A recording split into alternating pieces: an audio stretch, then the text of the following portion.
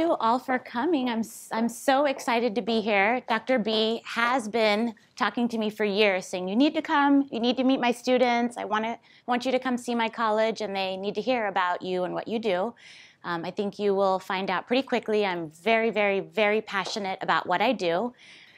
Okay, before we get into all the nitty gritty stuff, today our topic is about traumatic brain injury and concussion, medical management um, throughout the whole healthcare spectrum, anywhere from the ER all the way out to outpatient rehab services, where I do a lot of my work. I just want to tell you a little bit about myself. Um, my sister said all these crazy things that I guess have happened over this past several years, but I just wanted to tell you my personal journey.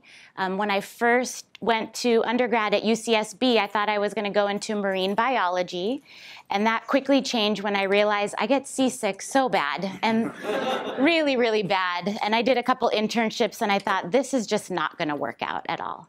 Um, then physical therapy somehow came into my lap. Um, someone had suggested they thought maybe that might be a good career for you. And the minute I read that description about what a physical therapist did, I said, wow, that's me. I love to stay fit. I love to be healthy. I love to tell people what to do. I like to help other people get better. Um, I'm so passionate about this. And when I told my mom, I think this is what I want to do, she said, You would be perfect at that. You've been bossing us around for years, telling us to eat healthy, exercise, get fit. So there was my path. Um, I went on to go to USC and got my doctorate in physical therapy. And then after working in a couple places, I thought this would be so great to have my own clinic. Ultimately, you know, the dream, I could have my own clinic and be a mom one day and treat patients, have a little bit of flexibility. And that was just a dream. But one day, really early on in my career, the opportunity came in my lap and I thought, I'm too green, I don't know what I'm doing. But I took the opportunity, I jumped, and it's been 11 years now that I've had my private practice with my business partner, and I'm really happy. It's hard work, but I'm really happy. Um, and I never thought in a million years that that would be me. I just didn't think that at all. Um, so your dreams can come true. Shoot for the stars, or just take the opportunities. That's what I want to tell you. Take any opportunity that falls in your lap. Come talk to me after if you're interested in learning a little bit more about some of the work that I do. And um, I will leave my business cards out too. So I would love for you to reach out to me later on if something comes to you later on. Um, and then the other great opportunity that came up is years ago, some of my former professors said, We'd love for you to come and teach. And I was like, what? Who? Who are you talking about? Like, what? I don't even understand. I didn't even think that was an option.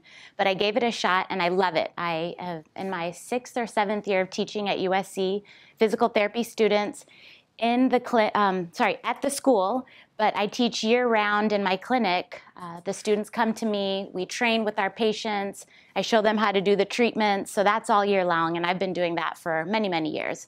But that's my personal story, and I'm really passionate about neuro, so that's my area of specialty. Just like physicians, PT specialize anywhere from women's health, orthopedics, sports, neuro, pediatrics, I just fell in love with neuro. So you're going to see some of my patients here in these videos, and you're going to see me doing therapy with them. I just love it. I feel that I can help someone walk again, move, make some changes, drive some neuroplasticity in their brain, and I'm just super passionate about that. So I'm going to share a little bit about my story. Um, I teach neuropathology at USC, so I'm a neuroanatomy geek. I'm going to say that in advance. I love neuroanatomy, love neuropathology. We're definitely going to talk about patient examples, but I think it's super important that you understand the structure of the brain, what's happening, so this can make sense when you see the patients and you see my patient here and how he's changing. All right, so these are the objectives that just wanted you to have a little idea of some of the things that we're going to be covering today. We're going to distinguish between several different types of brain injury. There's concussion, subdural and epidural hematoma, and um, a couple others that I don't see right there. Oh, contusions that we will be talking about. Also, we're going to describe some of the response categories. You probably see this on medical shows such as Grey's Anatomy, where they say GCS is 2, GCS is 10. I'm going to teach you all about that. Um, we're going to link diagnostic tests, so it's so important to know what type of test do you want to do when someone has a brain injury. Is it going to be an MRI or a CT scan, and why? And then we're also going to uh, describe medical management for treatment, all the way from the ER to outpatient. All right, and just to organize today's lecture, these are the three steps that we're going to go through.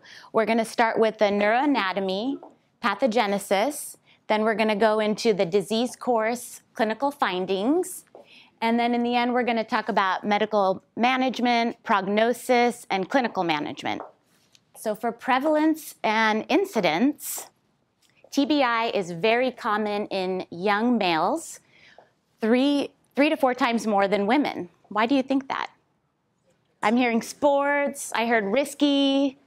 Yeah, so I don't want to stereotype at all. We have some rambunctious women out there too, I'm sure, but men typically do engage in a little bit more risky contact sports behavior. So just um, as in TBI, spinal injury is the same. You're going to see this very often in young males, 15 to 25. And the patient case I'm going to show you today is my 22 year old male patient who suffered a brain injury. And um, it's also very common in individuals over 65, and that's usually due to some type of fall, loss of balance, impaired balance. So you're going to also see that as well. And then head injury occurs every seven seconds in the US. That's a lot if you think about it. Every seven seconds, there's a head injury out there. That's very common. The number one cause of brain injury is falls at 36%. And then motor vehicle accidents and either being hit by an object or your head hitting up against an object versus an object coming up at you is a close second. So those are kind of the three top injuries, um, how you can sustain a head injury. And then this just breaks my heart because I'm a mom and I love peds, but um, unfortunately, there is a very high incidence of non accidental TBI in the pediatric population. And that's just too sad. Um, it is a leading cause of death in children less than four years old. And in fact, 80% of children die from abuse, that end up dying from abuse, are under the age of four. Um, so unfortunately, this is out there, this is real, and um, I really like this picture and this phrase here children cannot stop child abuse, only adults can. All right, so now we're going to get into the fun neuroanatomy part. So, this is our brain. This is the skull, the layers that protect the brain. Are any of you familiar with these? Yeah? Yay, good. Woo, I'm excited. Okay, so I'm going to hope this works. Yay, the three meningeal layers. And the mnemonic that I use to remember that is PAD. Pia, arachnoid, and dura mater. PAD. Okay, so those are going to be right here. The pia mater lowest. Oops, I've got this. We've got the pia mater down here. The arachnoid mater and the dura mater is right on top. Okay. And then the very important thing to note with brain injury is where the potential spaces that bleeding occurs. So there's two potential spaces here. It's going to be either the epidural space, which is above the dura mater, and that's going to be right between the dura mater and the skull right here, okay? And the second space is going to be the subdural space right here, right below the dura mater. So those are the really only two major potential spaces that you can have bleeding with a brain injury. Okay, so this next image is a series of the brain over here, the skull, and then the contents within the skull here. And we're going to go through each image in a little bit more detail. The first picture over here is depicting the lobes and the whole brain sitting within the skull. This part here is depicting the folds of the dura mater. That's the that's the meningeal layer that's on the top. There's actually folds within the dura mater, and that's these two folds here. And then here is a notch in which brain tissue typically gets pushed down when there's a head injury. All right, so this image, if you can see a little bit closer, this is showing we have our brain here. This is the anterior side, the front. You can see the nose and the chin, the jaw. What's important to note here is the frontal lobe right here sitting in the anterior fossa and the cerebellum and the brainstem sitting right here in the posterior fossa. So that's back there. That's how the brain sits in the skull. All right, next, these are two of the most important folds of the dura mater. So the falx cerebri, this fold right here, actually sits in your brain like this. It sits vertical and it separates the right and left side of the brain, okay? And then the second largest fold is the tentorium cerebelli, and that actually sits in the horizontal axial plane right here. So your brain has these folds that sit like this, and they have many compartments around them. So those are the two most important folds within the brain. All right, now within that axial fold of the brain, which is a tentorium cerebelli right here, we have what's called the tentorial notch. And really the most important thing to note here is this is a typical notch where when there's any type of head injury, you're gonna have brain tissue pushing down into that notch, and that's just one of the most common spots. So imagine you have all this swelling after a head injury, the tissue needs to go somewhere, it typically pushes right through that tentorial notch. So that's the main purpose of this slide here. Now the analogy I wanna use so that you can kind of get a better understanding of so what? What's the point of all of this? Why, Dr. Dahdul, are you telling me about all these falx cerebris and these folds? I want you to understand what's really happening in the brain when you have a brain injury. So imagine our brain is like a house, okay? And the skull is the walls of the house.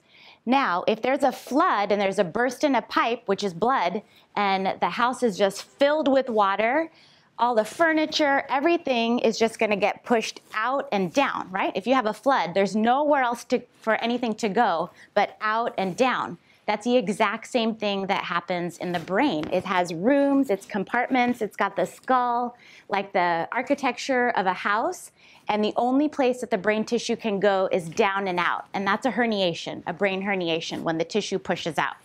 So it's really important to note that that's just what's happening in the brain when we get increased pressure and increased swelling. All right. Any questions about that?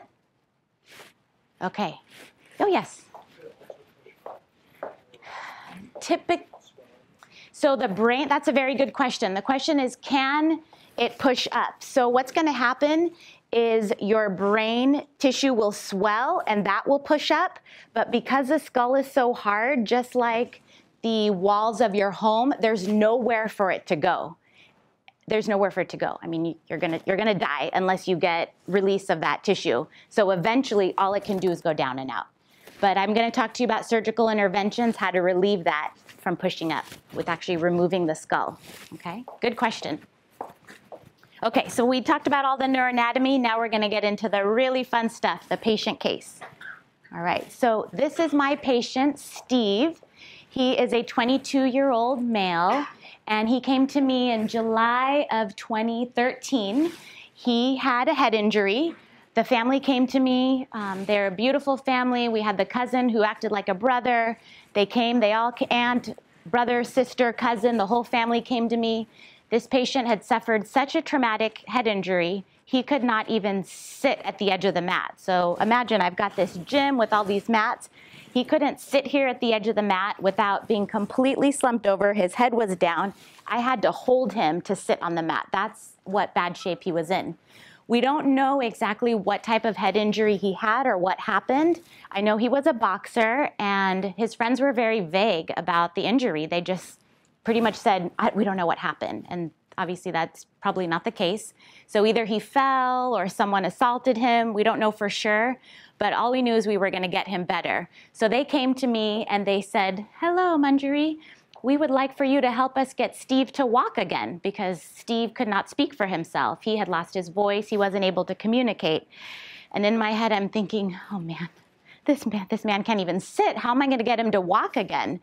but I, I won't give up. I will give everyone 150% of my effort. And I said, if you want to walk, we will try, but I'm also realistic. And I said, we have to take steps to get to walking. He must sit first before he can walk. He must hold his head up before we can walk. But the family worked really, really hard. The patient worked really hard. We were a team. And I will show you Steve's progress as we continue on with the lecture. Um, some of these other things, he had a status post craniotomy, so there was drilling within his skull to relieve the pressure of the swelling tissue and the blood. and max assist times two to stand. That's two people just completely lifting and holding him up to be able to even stand for a few seconds. In this video here, Steve is sitting. I think this is just a few months after working with him. If you can see now, he is sitting with his back away from the chair. He's holding up his head. Granted, it's tilted, but I'm also mirroring what I want him to do.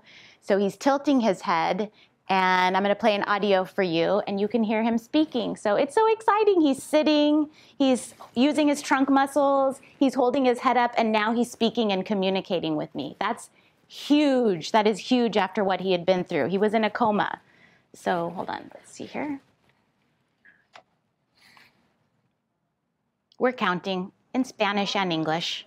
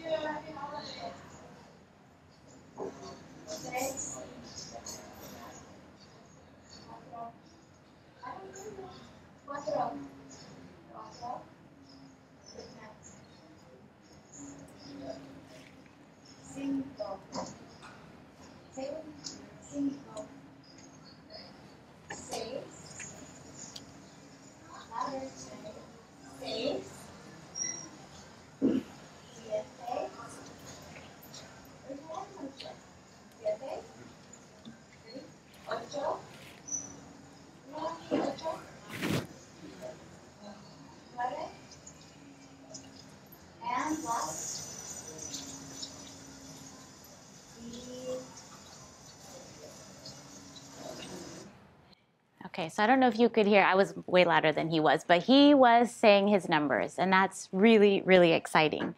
The other thing I just want to tell you about this is I did check my notes here, and this is three months after working with Steve. So in just three months, we went from max assist sitting at the edge of the mat to this beautiful picture of Steve sitting, holding his head, and speaking.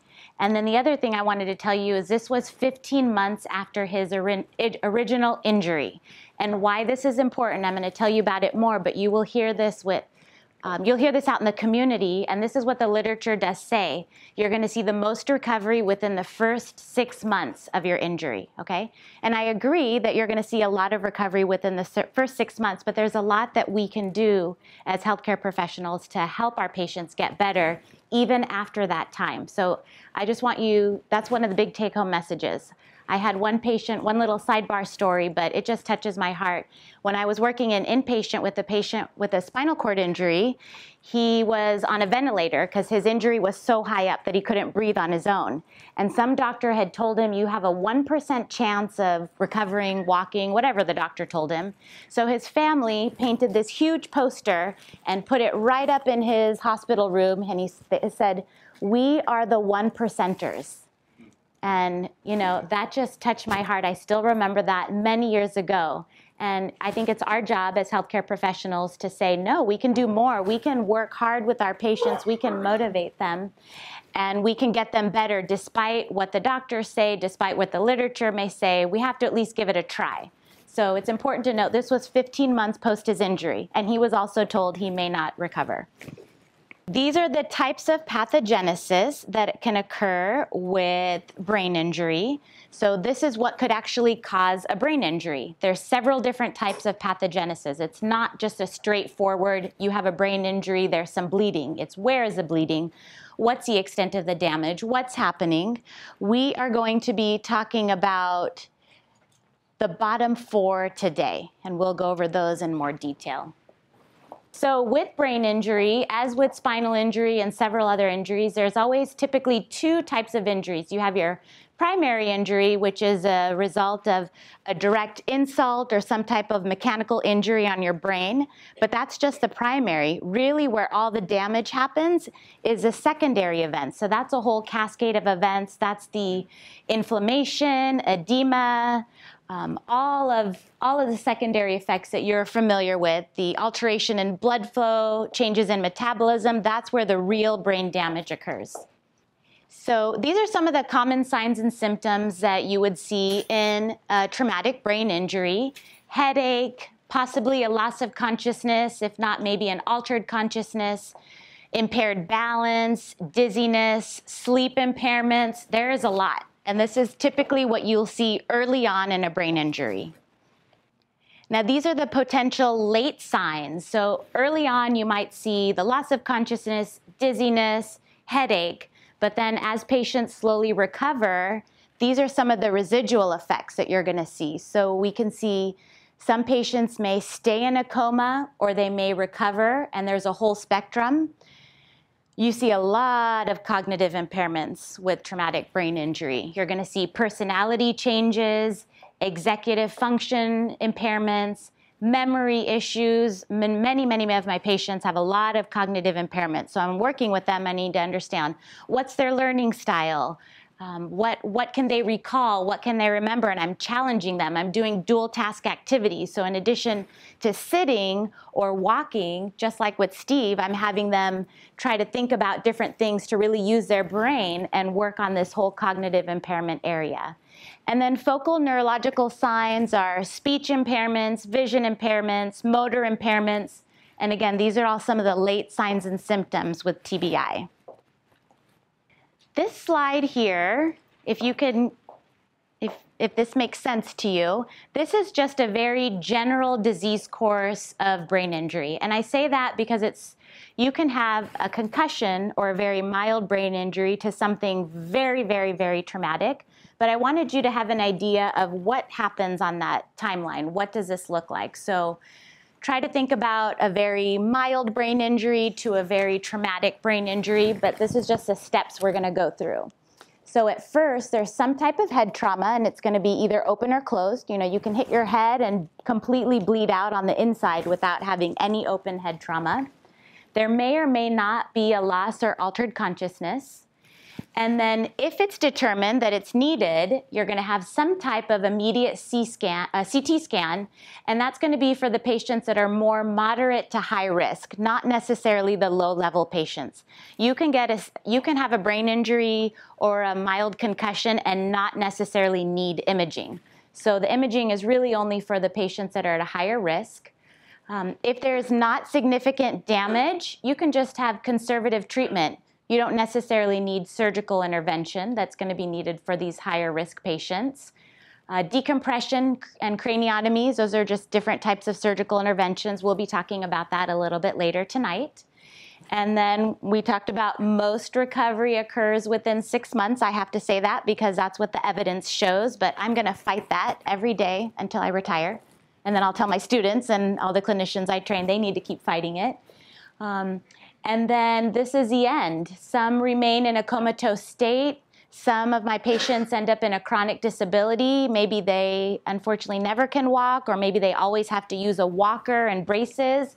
And some people make really good continued recovery over and over again with intense rehab. So, this is just a general disease course for brain injury. So, this is the Glasgow Coma Scale, the GCS. This is the most common scoring system used to describe the level of consciousness in a person following a traumatic brain injury. What's nice about this test is it's simple, it's reliable, and it correlates really well with outcomes for a brain injury. Okay, so once you get this score for your patient, and this is usually within the ER, you have a very good idea of what the outcome of the patient's going to look like. And that's that's kind of exciting instead of this complete unknown. Granted there's so many other factors but typically the gcs is very reliable and it's going to tell you what this patient's going to look like later on even though they're in the er and it's very traumatic. Okay? So there are three response categories. Got to keep this fun. We've got the eye-opening response the verbal response and your motor response. So I have a few questions for you.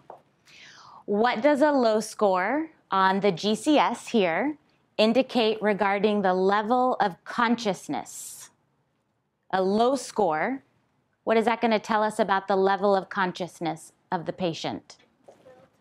Little to none. Mm-hmm. So it's going to be a very low level of consciousness or maybe loss or no consciousness. That's a low score, okay? Now, what does a high score on this um, scale, what does a high score on the Glasgow Coma scale indicate regarding prognosis or outcome for a patient? I think I heard good. Yeah, good prognosis. So if you have a high score, if you are responding to verbal stimuli, you're oriented, and you're obeying commands, your GCS score is going to be very high. There's a very good chance you're going to have a very good outcome and a good recovery. Yay, that's what we want. So now that we have a better understanding of the pathogenesis, I want to review some of these in a little bit more detail. We talked about the primary injury, the secondary injury. Now we've got to get into the nitty gritties of each of these. So the first two we're going to talk about are cerebral contusions and hemorrhages. Cerebral contusions are pretty much bruising of the brain, okay? And the most common, this, this is very commonly seen within elderly, but it's also commonly seen with coup and contre coup injuries. So the coup injury is where you have the initial impact. That's where you're going to have that initial injury on the inside of your skull. Now the contra coup region is going to be on the opposite side of the brain. So typically patients get hit in the frontal lobe here. That's the coup injury, and then the head whips back. It hits the brain. That area can also get injured. That's a contra coup injury. What's interesting about this is it can occur either separately or they can occur together. It just it just depends on the nature of the actual injury itself. But with coup and contre coup injuries, that's where you see these cerebral contusions, bruising in the brain. Okay? Now, hemorrhages down here, I like to think of those as leaking pipes. So our blood vessels are just like pipes. They can either burst, they can leak, and that's exactly what a hemorrhage is. It's just a leaky blood vessel or a burst in our blood vessel causing um, brain, um, blood to come outside of the vessels and push into the brain. So the most common sites for contusions are the inferior frontal lobe, which is underneath here, and your temporal lobe, which is on the side of your brain. I think this image, C, is the inferior, well, I, I don't think. I think this image gives you the best idea of what I'm trying to explain to you here too, but this is an inferior view of the brain. This is the front, the anterior, and the posterior view. So if you can picture your at your feet looking up into your brain.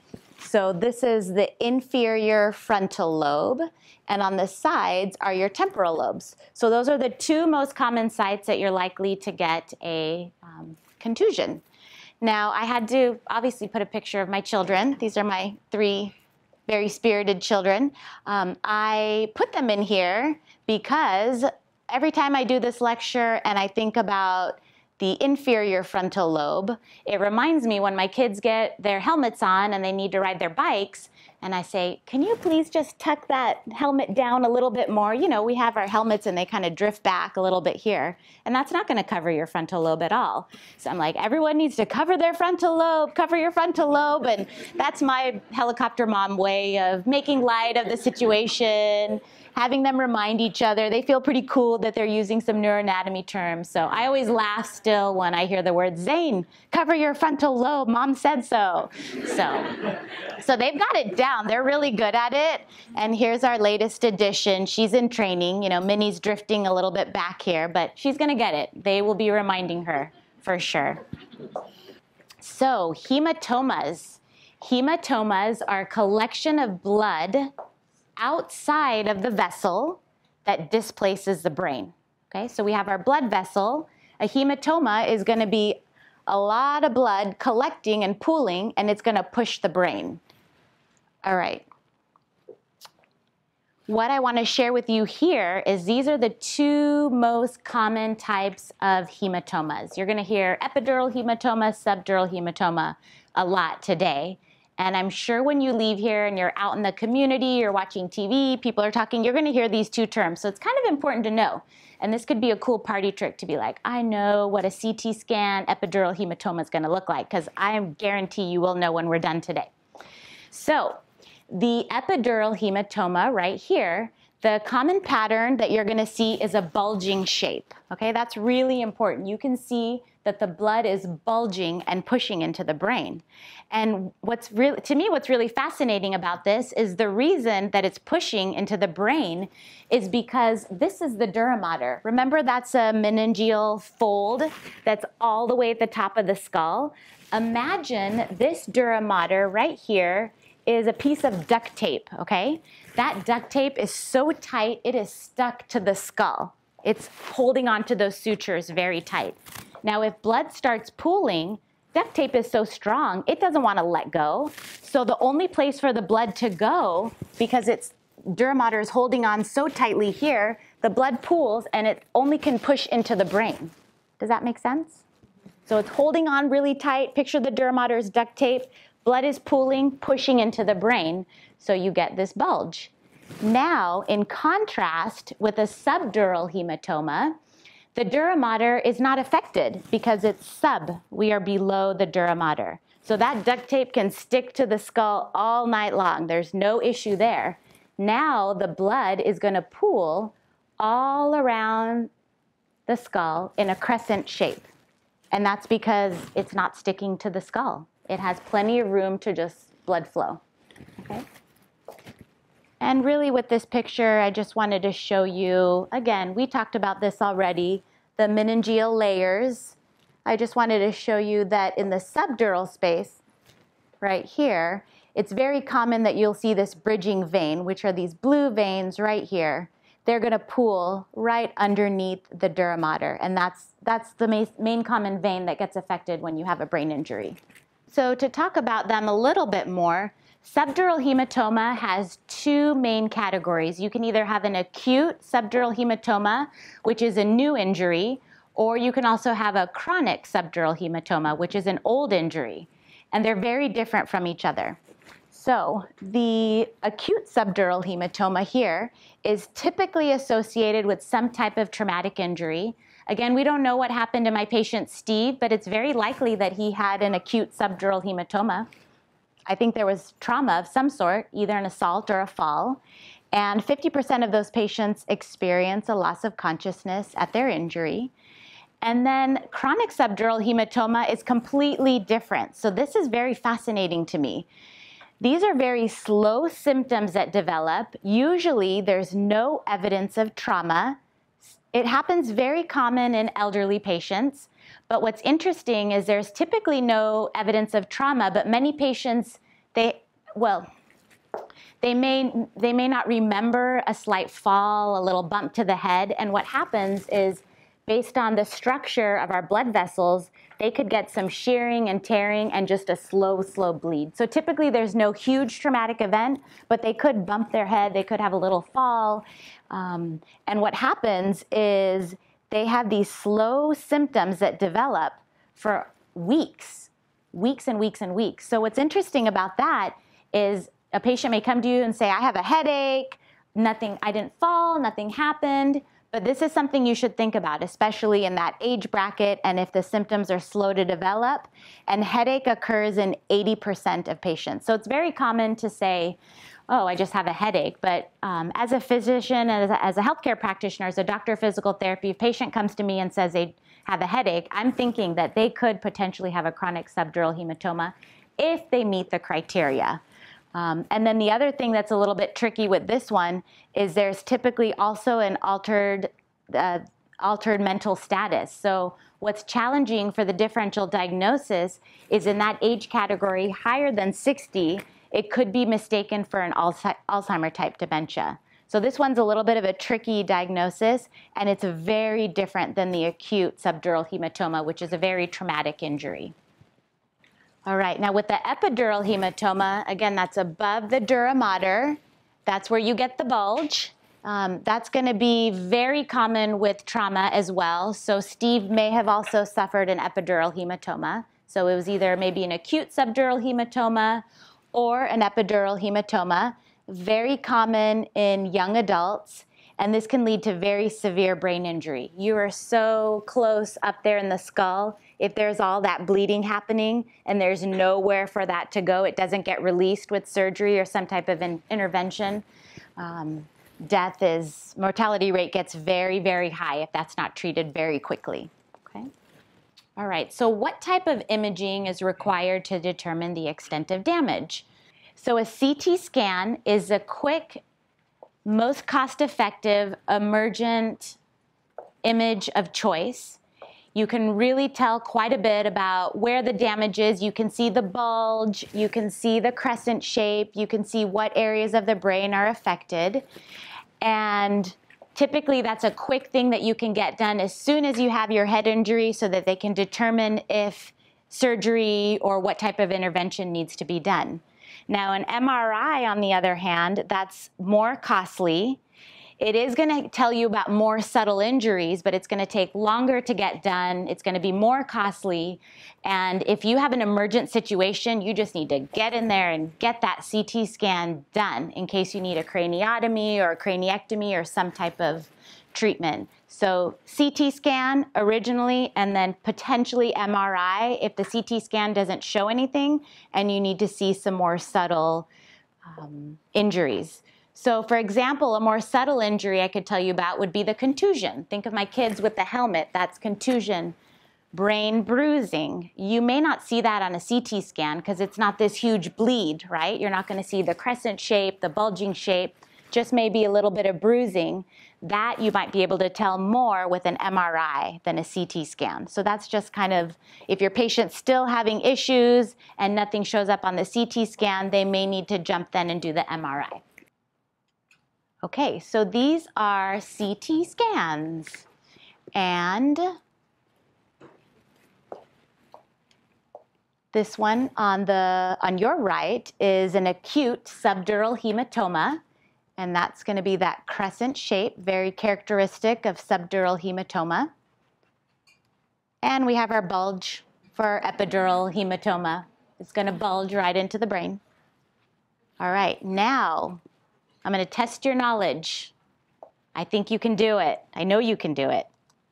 Do you think that this image on your left is a epidural hematoma or a subdural hematoma? Okay, so this image here, we're either looking for a bulge or a crescent shape. And you can have a large crescent shape too. It's, it's, it's a brain, it's irregular. So you could be a bulge, it could be a large crescent, it could be a small crescent. Show of hands, how many of you think that this image over here is a subdural hematoma? Okay, and how many of you think it's an epidural hematoma? Okay, I'd say maybe more said subdural, but a close second was epidural. And how many of you are like, Dr. Dahdul, I, don't, I can't read a CT scan. That's fine, that's fine. That's completely normal. All right. So that is actually a pretty big subdural hematoma. And that I can see that would be a little tricky because it was bulging out, but it was just a really big bleed, okay? How about this image here? Let's try it again. Okay, how many of you think that this image on this side we're either looking for a crescent shape, which is a subdural hematoma, or we're looking for a bulge, which is an epidural hematoma. How many of you think it's subdural hematoma, which is a crescent shape? I'm seeing more hands, which I'm excited about. Okay. How many of you think it's an epidural hematoma with a bulge?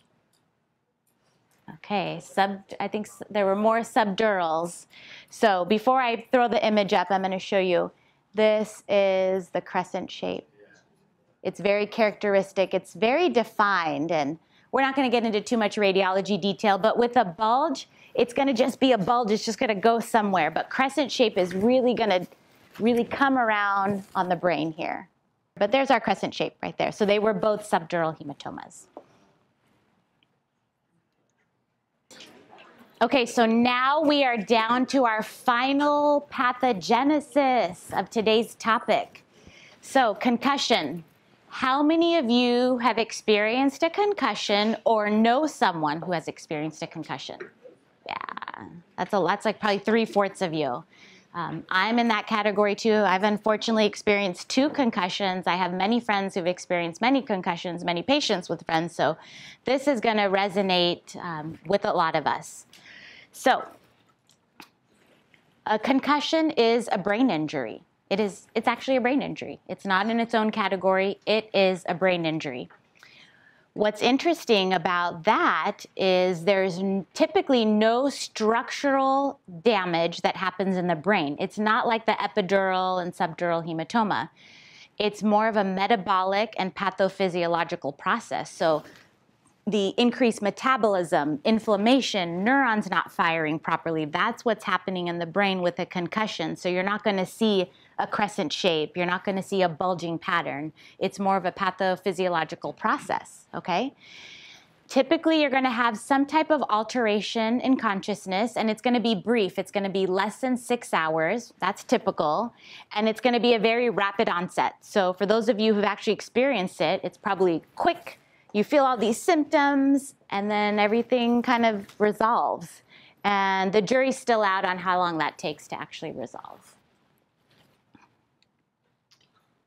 there are over 46, 46 working definitions on concussion. This is one of my favorites. So this is with the International Conference on Concussion in Sport in the, uh, the Zurich team that met recently. And I like the way they put this. They said that concussion is a complex pathophysiological process affecting the brain induced by biochemical traumatic forces. Just kind of take a look at that. That's what's happening in the brain when you have a concussion. And I'm sure you've heard there's so much emerging research on CTE and concussion within the last two years. And this year, I, it's just blowing up. Every month there's something new. Even today, something new came out that I'm going to tell you all about. I just saw it in my news. I'm like, what? I'm talking about this today. This is exciting, something new. Um, I do want to share with you a really nice video. I don't know if you've seen this before, but essentially it's what happens in a football player's brain when they have a concussion. And I thought this was a really cool video. And now you know all the neuroanatomy. So you're going to watch this video and say, there's a falx cerebri and there's a frontal lobe. And you're going to know all about what's happening here in this brain. All right. I don't think there's sound on here, so you just get to enjoy it.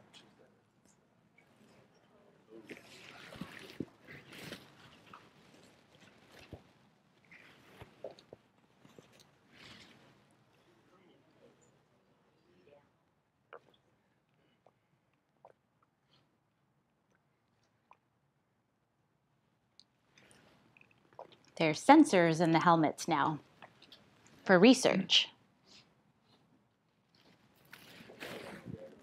Our brain is like jello.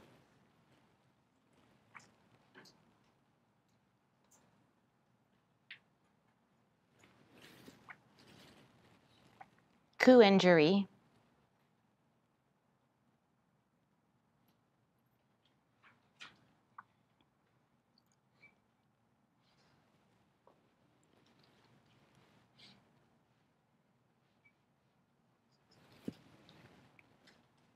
There's that fold of the dura mater.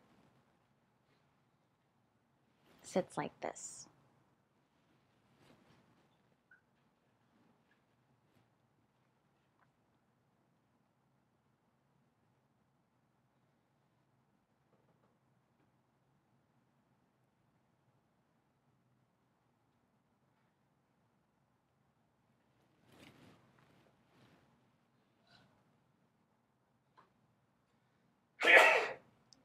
You.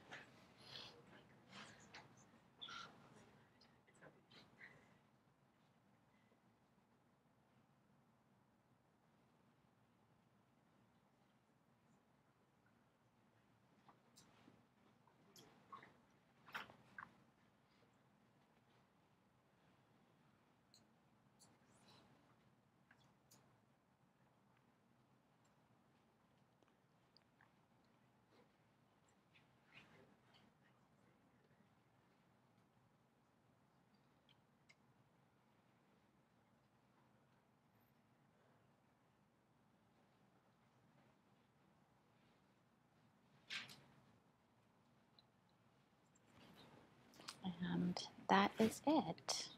Okay, so we talked about this. A concussion, just like you saw in that video, there was bruising and damaging of the brain, and the brain tissue was moving around like jello. There wasn't any formal bleeding.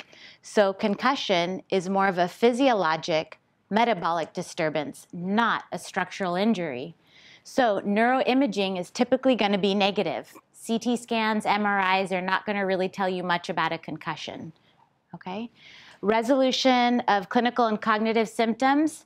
The research says the research says typically concussions resolve within 10 days up to two weeks. I'm still working hard to find a concrete number, but right now all I'm hearing is typically concussions heal within 10 days to two weeks. So the question is what were the football players diagnosed with before CTE? This is still, the, the research with CTE is still very new. So I think a lot of players are actually either self diagnosing themselves or they're just showing a lot of different neural damages, and they're not given a straight diagnosis because right now we're being told that you can only detect CTE on autopsy after death. Okay, so before that, they're typically not giving them really any diagnosis. They may say you have multiple concussions with a lot of damage. I don't know that physicians are giving them a concrete diagnosis, not to my knowledge. Yes? Was there just today actually a, a football player that they found something while he was alive but had passed away today, and I guess they did like an autopsy on him. Mm-hmm. Yes, that's exactly what I read this morning. So tell me your name. Devin. So Devin just brought up the cool news that came out today. This was the first time that they detected what they say is evidence of CTE in a living patient. So they did all their scans. There's a research study going on, and we've always said, literally up until yesterday that I knew of, you can only detect CTE on autopsy. So we're going to talk a little bit more about CTE in a few slides. But yes, that's the new news that came out today. So that is exciting. But there have been several ex um, NFL players who, before they died, said, I know I have CTE. As soon as I die, you do the autopsy on my brain and we'll confirm it. And we, are, we will talk about those. Okay, so as I said, typically a normal standard concussion will heal within 10 days to two weeks, okay? And that's about 85% of patients. So these are the long term consequences. So, as I stated, most concussions heal within 10 days to two weeks, and there are several long term consequences. So, one of them is unfortunately post concussion syndrome. I've also heard persistent post concussion syndrome, which is P- PPCS. And this occurs within 15% of patients who don't recover spontaneously from a standard concussion. And you get persistent symptoms such as headache, dizziness, insomnia. Those are the top three that I hear with my patients. And this can last, unfortunately, several months to years but there are treatments. So if you want to chat with me after, there's a lot of vestibular treatments because a lot of this is happening within the brain and the inner ear and with orthopedic treatments for your cervical spine. So there are emerging treatments that can help with a lot of the signs and symptoms there. Um, another one, we won't go into too much detail today, but there's also something called second impact syndrome down here. It's still a little bit controversial. It's seen more in children and teens, but with this one, it's a rare reports of when you have an original concussion and when that one has not healed and you get another concussion, you can get very severe brain swelling because the brain just does not know how to auto-regulate and, and manage those two concussions happening so close to each other. And so you can get some serious brain swelling with that one. And our next topic is CTE, the hot topic. So, as I stated, at present, there's a lot of emerging research on CTE. Um, there was a movie, Concussion, with Will Smith. Um, the uh, Frank, Giver, Frank Gifford over here, a legend in football, announced that he suffered from CTE prior to his death, and that was indeed confirmed on autopsy. So CTE, essentially what this is, is it's linked to repeated blows to the head and concussions. It's been detected in many ex-NFL players in most recent years. And essentially, it's a cumulative effect of multiple hits to the head, multiple concussions, and that's going to lead to progressive deterioration of neural tissue. Our brains just can't handle all of that damage and that repeated damage. So, the symptoms I'm sure you've heard of with a lot of the football players that have suffered this there's aggression, personality changes, motor impairments, and some of them are very similar to Parkinson's disease. So, they get this flexed forward shuffling gait pattern that's very characteristic of Parkinson's disease. Um, and several have committed suicide, unfortunately. It's just a really, really sad one. Depression, aggression, memory changes, really sad. And as Devin and several of you have read and seen, up until today, it's the first that I'm hearing we have the first living patient that has evidence of CTE in their brain. So I think this is really exciting because these players need to get diagnosed with CTE, and we need we need to either take them off the field, get them the help that they need, and say this is real, this is happening, and not wait till autopsy. But I do want to note the research is still in its infancy. This is still very new, so we're still just trying to tip the iceberg and find out what exactly is happening with CTE. All right, another hot topic is genetic susceptibility to concussions and brain injury. And this is also a very hot topic with a lot of emerging research. We're just trying to get our hands on it and make sense of it. So, what's interesting here is genes may cause some people to actually be more susceptible to a concussion or some type of trauma than other people a person's genetic makeup, in fact, may play an important role on the extent of the injury and the number of blows that they sustain. Now, the tau gene is a protein. A new study is finding that players who had their blood work taken after they had a concussion, those who were cleared to return back to play had less of the tau protein in their blood than those who were not recovered to play. So we're finding that there's a connection with the tau protein. If you have more of this, you're more likely to have a concussion, have trauma, and not recover as well. So what's neat about this is they can do some blood work and detect these genes and see if you should return back to play or even they're working on a blood test to determine if you should even engage yourself in contact risky sports. So I've heard I've heard that parents could eventually be able to get their children tested to see what type of tau proteins they have, some of these other proteins, and decide should my kid play football, should my kid do rugby, or whatever sport you want to do, and make those decisions with some really concrete scientific knowledge, which is really shocking to me that that's happening.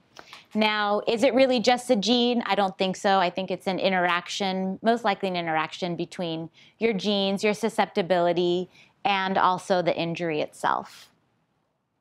Now, this is some newer information too. Alzheimer's disease and the connection with concussions, that's been around, but I just read an article that it could be linked to MS. So there was a big study done in Sweden saying that several of their patients who had suffered multiple concussions they had later on had an increased chance of getting multiple sclerosis. So um, be on the lookout. All of this will be coming out.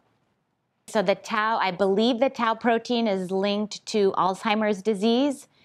Um, I think it was MS as well. I think that was more for the tau versus apolipoprotein. But I'm still learning that too because a lot of that is new information coming out to us.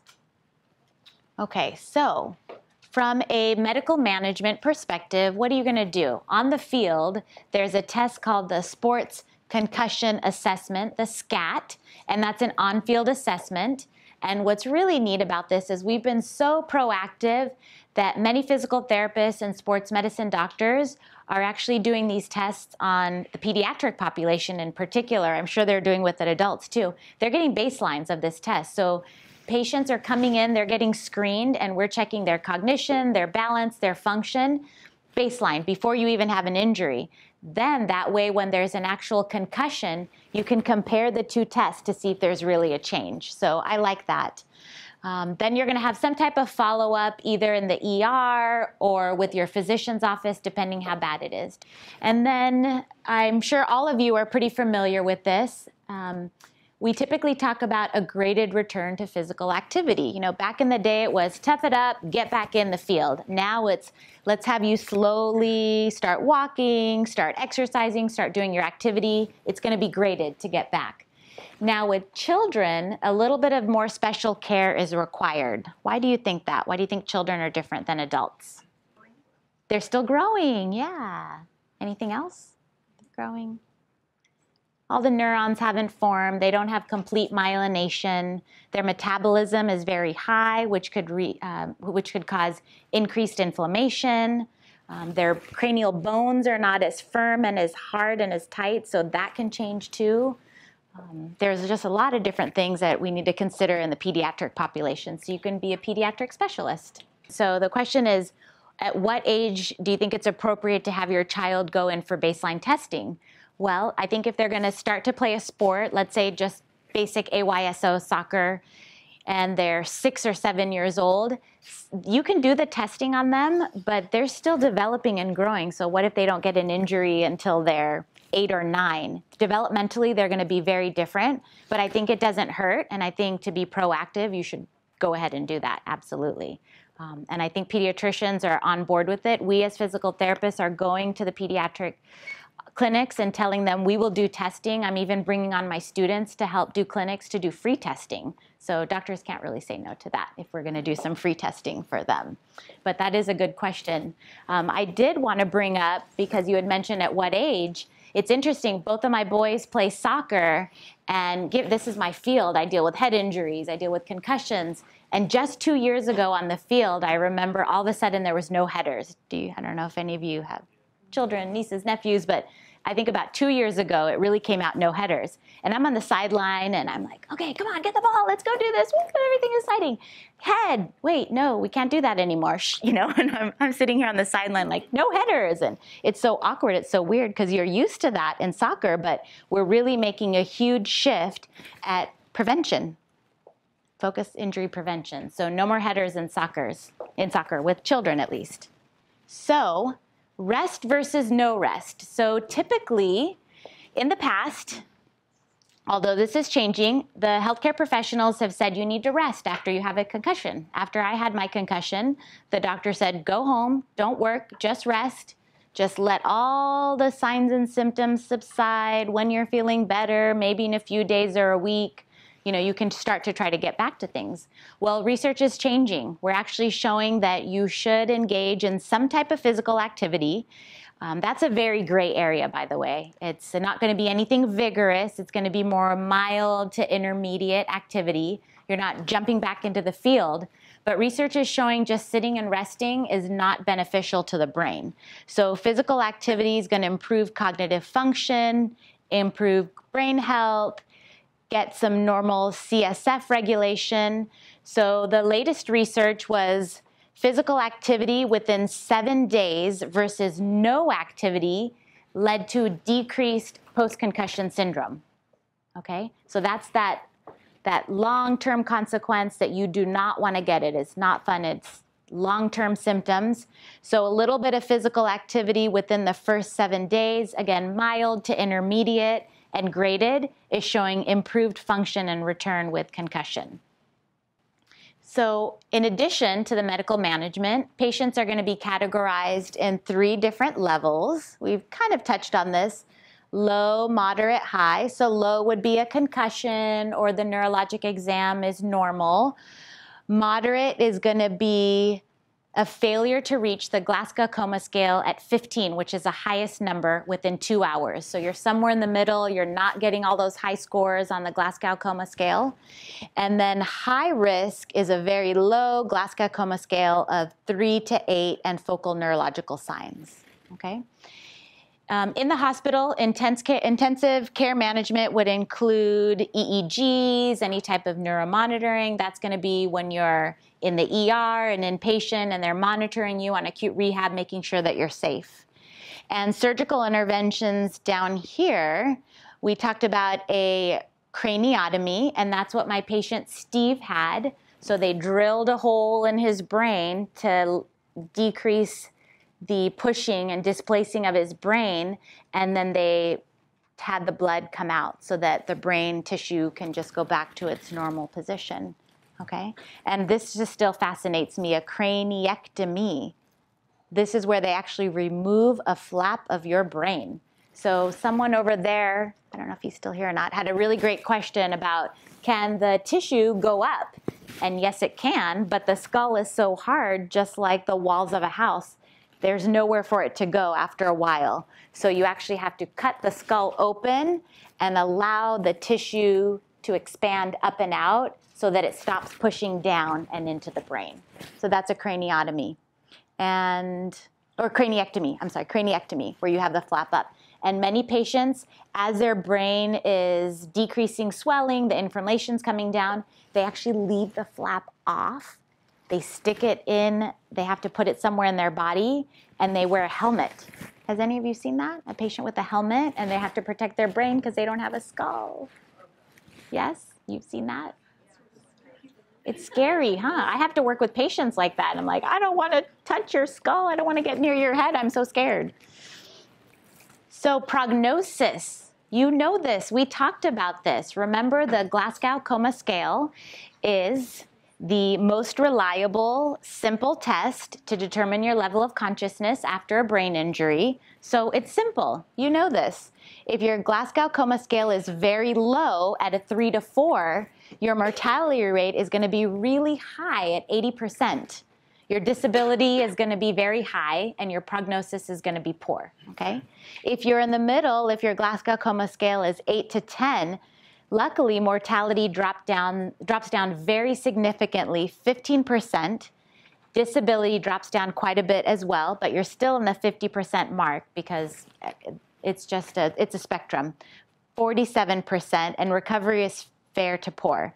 But when you have a very high Glasgow Coma Scale of, uh, score of 15, mortality goes all the way down to less than 1%. So you are surviving, you are living, your disability is mild to moderate, and your recovery is good. So again, Glasgow Coma Scale, once you find that number, you're going to be able to tell your patients most likely what their prognosis and recovery will be like.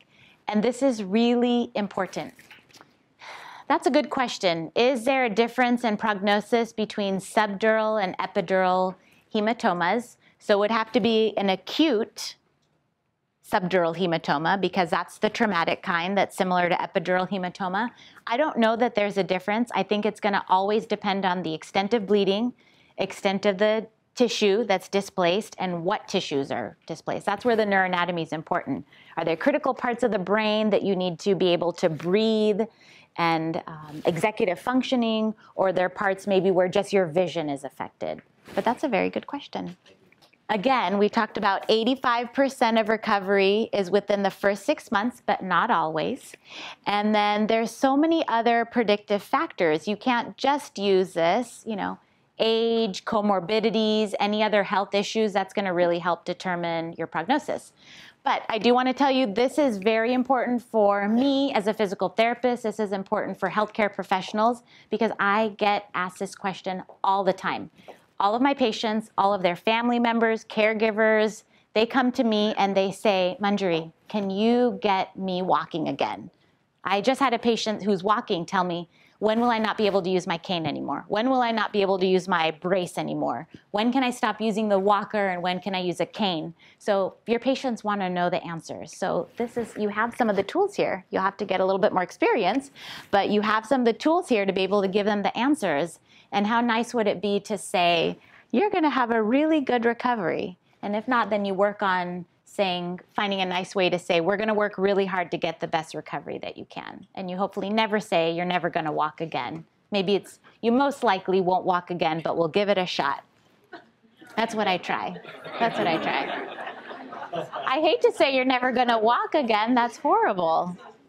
So we are in the home stretch here.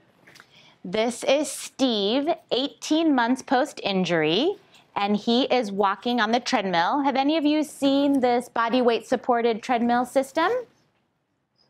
No? Okay, so I use this in my clinic. So I love this system. It's called the body weight supported gait training system. You put a harness on a patient, you strap them up to the top, and that's if they can't walk on their own. So you'll see me. I'm on. I'm on his. I'm on his right foot, and I'm helping. I this is my job. I sit and I move people's legs. I do other things, but that's a big chunk of what I do. I've got some of my students helping with hip, pelvic rotation. We're working really hard, but Steve is walking. This is exciting. So here is Steve.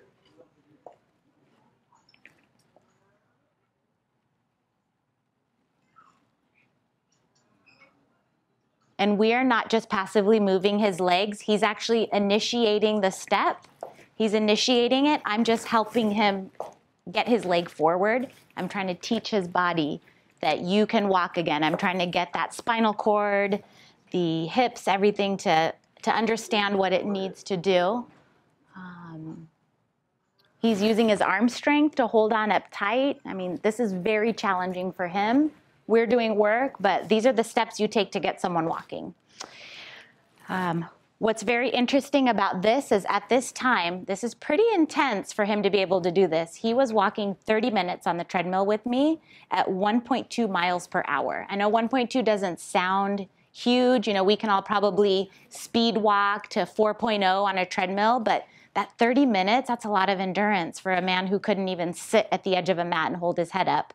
He's holding his head up, he's holding his trunk up, he's moving his legs. And 1.2 miles per hour is actually not that bad for where Steve first started.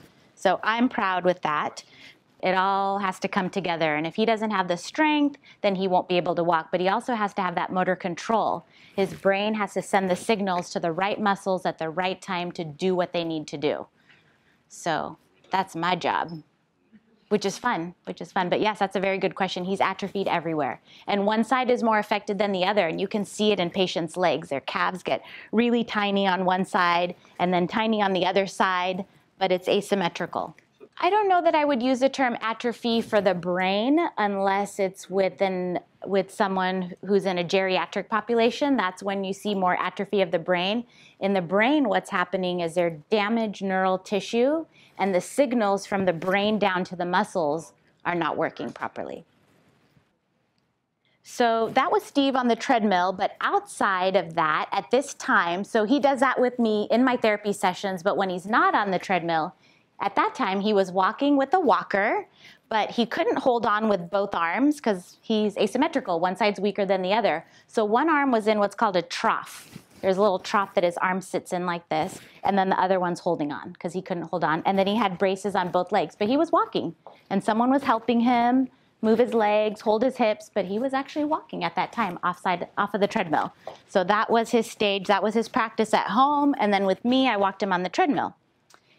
Two and a half years after Steve's injury, this is Steve walking on his own with his dad.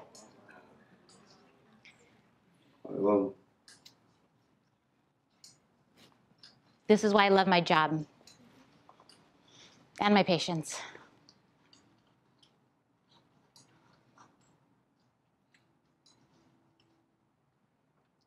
Steve has a brace under his pant leg on the right side. That's his weak side. But that's okay. It's just part of the stages.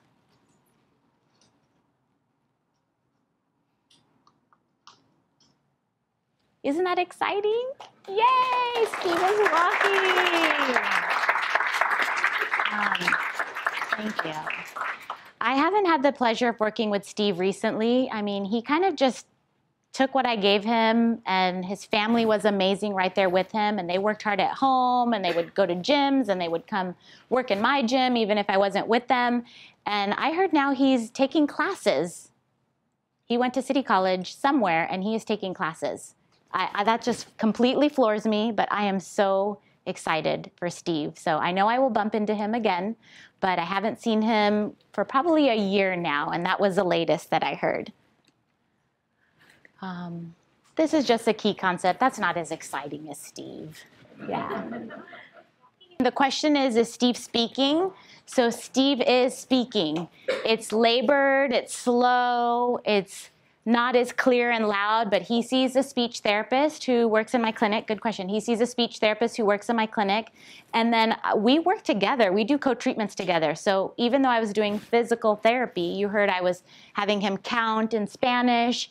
Um, when he was on the treadmill, I'm kind of a mean therapist, but I just I want to get my patients better. I would hold flashcards while he was walking on the treadmill and make him call out whatever picture he saw in there, and then I'd make him call it out in English and Spanish. And then I was like, louder, I can't hear you, it's too loud in the gym.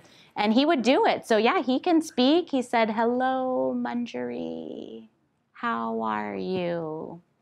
So, but he's getting better, so I know he'll be able to speak more and more and walk more and more independently. So, this is what we talked about today, our key concepts. We talked about the neuroanatomy, which I love, the protective layers of the brain. We talked about a lot of different types of pathogenesis, contusions, hematomas, concussion. We talked about prognosis. We talked about the key diagnostic tests and the good old Glasgow Coma scale. This is me and Steve in February of 2016. I attended a brain gala and he was a guest speaker there. And we got all dressed up and we took this great picture. So that's me and Steve. And I think that's our final slide.